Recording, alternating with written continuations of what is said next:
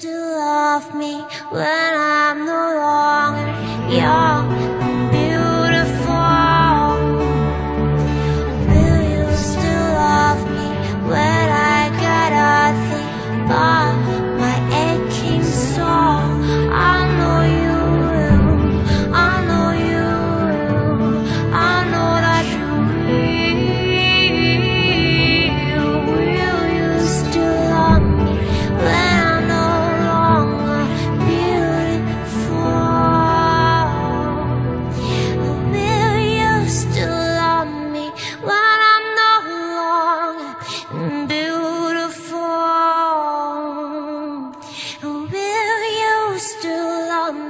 why